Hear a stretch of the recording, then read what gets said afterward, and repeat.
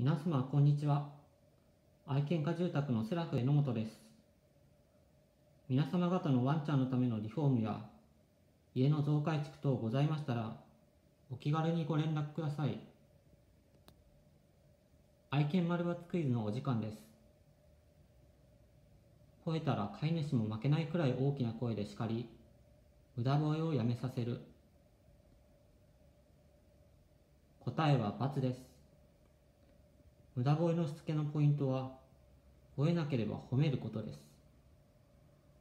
吠えたら素早く口を下顎側から押さえて目を睨み怖い顔と声で叱ってやめさせます。やめたら優しく褒めます。吠えるシーンを作って同じことを何度も繰り返します。吠えるのをためらうようになったら素早く褒めます。家族や知人に頼んで集中して練習してみましょう。皆さん当たりましたか？次回もお楽しみに。皆様方のワンちゃんのためのリフォームや家の増改築等ございましたらお気軽にご連絡ください。